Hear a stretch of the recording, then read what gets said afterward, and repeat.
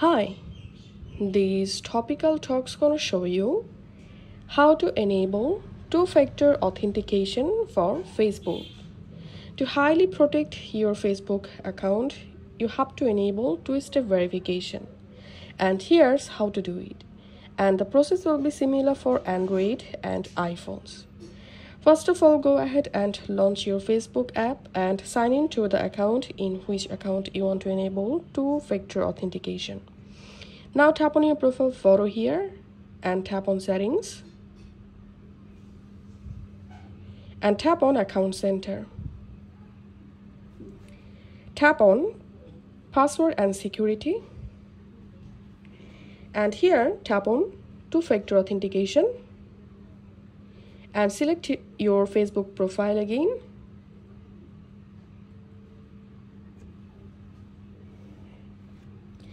And here you will find three different methods to turn on two-factor authentication. The best option is using an authenticator app. So here select authenticator app and tap on next and here we can see the instructions for setup or enable two-step verification. First of all we have to download an authentication app. To do that go to your app store or play store and search for google authenticator. And all you have to need install this google authenticator app on your phone. Once done go to your facebook page again. And now in second steps here you will see a code a unique code so we have to copy this code or key. So tap on copy key. Once it's copied now launch the authenticator app on your phone. And just tap on this plus icon. Tap on enter a setup key. In this account name box type here facebook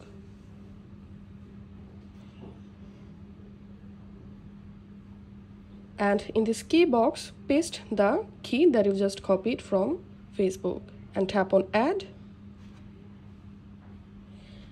And here you will find a six digit code. Just tap and hold this code to copy. Once it's copied go back to your Facebook tap on next. And in this box paste the code that you just copied tap on next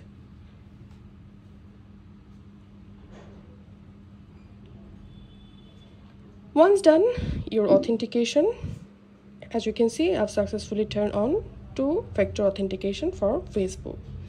So that's it. This is how we can do it.